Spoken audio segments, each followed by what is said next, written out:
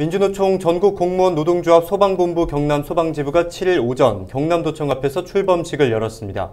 경남 소방지부는 이날 출범 선언에서 경남지부 초대 지도부를 구성하고 일하는 2,500만 노동자의 희망 민주노총과 함께 역사적인 첫 출발을 알린다고 전했습니다.